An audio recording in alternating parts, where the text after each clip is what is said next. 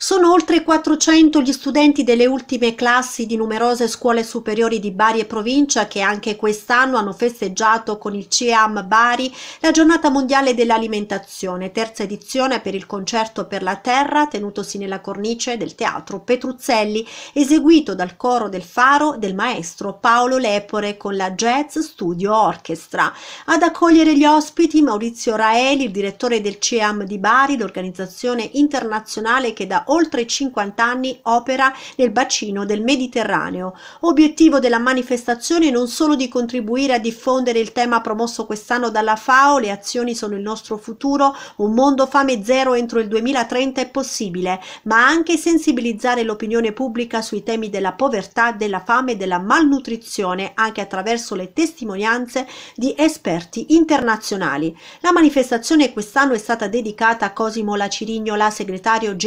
del CEAM, prematuramente scomparso lo scorso 2 gennaio. Alla famiglia è stata consegnata dal CEAM una medaglia d'oro, a lui intitolata unitamente al ricordo di quanti lo hanno conosciuto.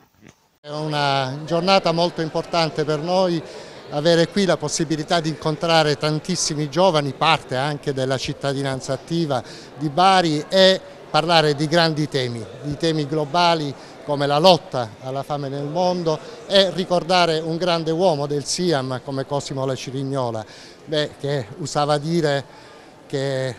non c'è pace in questo mondo senza sicurezza alimentare e non c'è sicurezza alimentare in presenza di conflitti e in presenza di gravi tensioni sociali. Oggi come oggi la fame ha aumentato, durante i tre ultimi anni ha aumentato eh, a causa dei cambiamenti climatici, una grande eh, causa di questo aumento della fame e anche a causa del, dei conflitti.